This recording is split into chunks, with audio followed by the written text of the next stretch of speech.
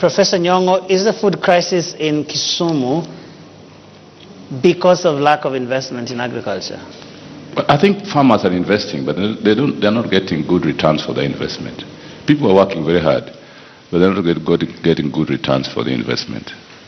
Secondly, access to market is a problem. Let me give you an example. When a woman takes her potatoes to a market to sell, she has to pay a fee. And that fee sometimes is prohibitive because if you compare the amount of money somebody in uh, Sondu or in Chemelil pays for a license to run a shop or to put the commodities in the market in a day as compared to the owner of Nakumatt or other big shops proportionately, you'll find that our people pay much more proportionately than these others, which is unfair. And it creates a disincentive for taking your commodities to the market.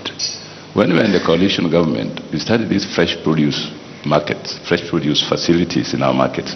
They have not worked very well. Why? Because even when you are taking the, your produce to the fresh produce market, you still have to pay some fees. And that is not, I'll give you an example. If you go to Chemelil or to which I've got done, you'll find to get a license to run a shop in Sondu, the Kisumu side, you'll have to pay 5,000 shillings a month. You're only receipted 3,500 shillings. On the Kericho side, the other side of the road, people pay 2,500 shillings and they're fully receipted. You go to Chemelil roundabout, you find the same experience. This creates a disincentive for people to use the market, have access to it for their commodities. What do we do? First, encourage people to invest in agriculture by removing these, these, these.